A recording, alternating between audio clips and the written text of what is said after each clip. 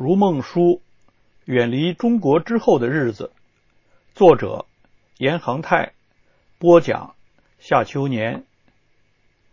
公寓楼内贼出没，BBC 政审通过。我记得有一回，那位从澳洲来的女钢琴家被选中，到 BBC 的一个专门介绍年轻音乐家的午间节目里去演奏。她兴奋极了，把这好消息告诉大家。我们都说。到时候一定等在收音机旁听他的演奏。他选了一首勃拉姆斯的钢琴曲，我现在记不清是哪一首了。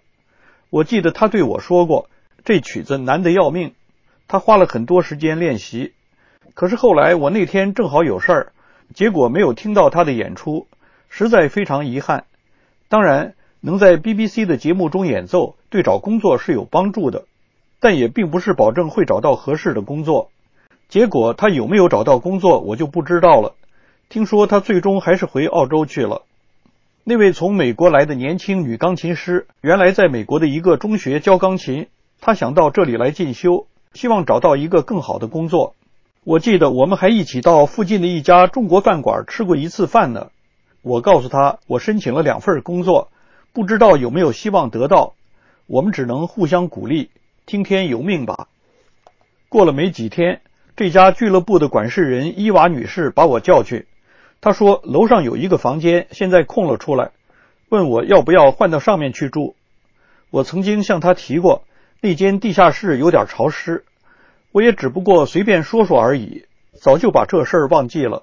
她竟然还真把它当一回事儿，我很感动，也很高兴，立刻就说愿意搬上去住。她也很高兴，还特别告诉我说，今年圣诞节假期。俱乐部会有一个聚餐会，希望我能参加。我当然一口答应。他接着就说要交十磅钱。那个年头，十磅钱一顿饭是很昂贵的。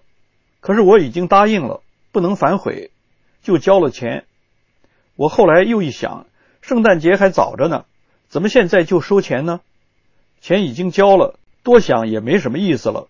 到了这时，我那两千磅钱已经所剩无几。心想最好能维持到我能挣钱，这样就可以不再去开口讨钱了。谁知祸不单行，有一天我放在上衣袋里的四十五磅钱竟然不翼而飞了。我开着房门去上厕所，大概不到五分钟，回去之后摸一摸那个口袋，却空空如也。我当时还以为我的记性不好，大概放在别的地方了。可是我到处找遍了都没有。我告诉我隔壁房间的一个美国来的拉大提琴的女青年，我也记不清她的名字了。她跟我说，她也丢过钱。她说这里有一个贼，而且她说大家都知道是谁。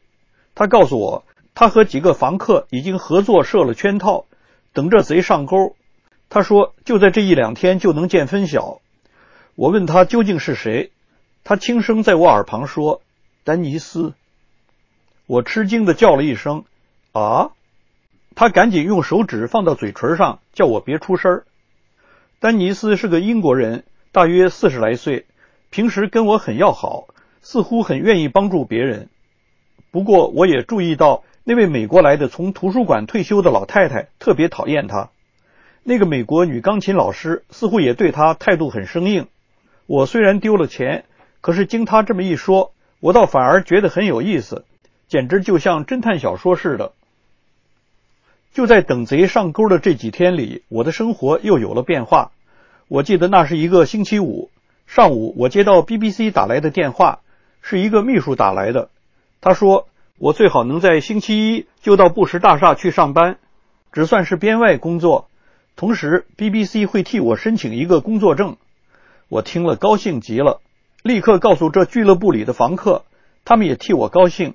祝贺我，还有人特别组织了一个所谓睡衣晚会来庆祝我的好运。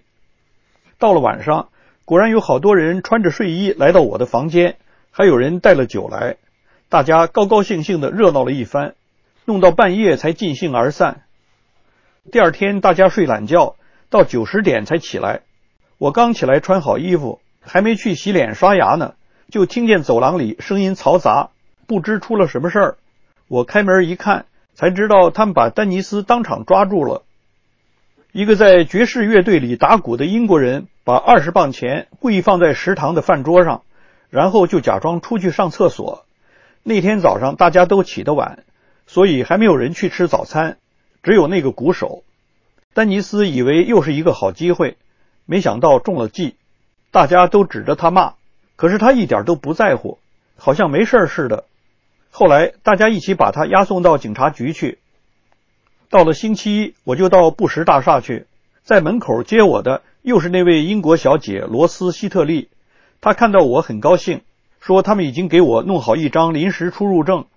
她还告诉我说，原本进出布什大厦是不要什么证件的，后来因为爱尔兰共和军闹事，为了雇员的安全起见，所以弄了出入证。就这样，我开始在 BBC 做事，有了一点收入。大概过了一个星期，郭丽打电话给我，说他在外交部的朋友想同我见见面。我想，可能是因为郭丽为了能让我在伦敦多留一些时间，就去找他在外交部的同学，想把我的签证恢复原来允许的三个月，而不是一个月。所以他们就要见我当面谈。郭丽同他们约好了日期和时间，到了约定的那天。郭丽把我领到牛津街一家大百货公司后面一条比较安静的路上，一所很讲究的住宅。他的两个同学已经在那里等候了。我进门后觉得这地方有点特别，虽然布置得很舒适得体，但似乎没有人住在这里。我心里纳闷，不知他们要干什么。他们对我们很客气，先问我们要不要喝茶或咖啡，我们说不用。他们就开始向我提问题。先问我家里的情形，提到一些我父亲方面的亲戚，有些堂兄弟姐妹我从来都没见过，但是知道他们的名字。然后他们又问我们一些关于北京电台的事，问到一位曾在四十年代在 BBC 工作过，后来回中国后在北京电台工作的女士江桂农。郭丽和我都认识她，因为她是我们的上司。最后他们跟我说，我到伦敦的签证是三个月。而且还说，他们知道 BBC 在为我申请工作证，并告诉我，如果工作证能批下来，那我就可以在这里住下来，这签证就没用了。我听了挺高兴，心里也踏实多了。事后郭丽才告诉我，到 BBC 工作都得经过安全检查。我们同郭丽同学的谈话其实就是一种检查。据我所知，到了八十年代，这种检查竟然取消，进 BBC 工作简单多了。回到音乐俱乐部，他们告诉我，丹尼斯上了法庭，他一点都没有觉得自己做错了事，还很自然地说，他偷钱是为了给他的侄女买生日礼物。他们还告诉我说，这里的法庭对这种小偷小摸判得很轻，所以他满不在乎。我心想，我的四十五磅算是告吹了，幸亏我现在有了点收入，所以也只好自认倒霉了。欲知后事如何？且听下回分解。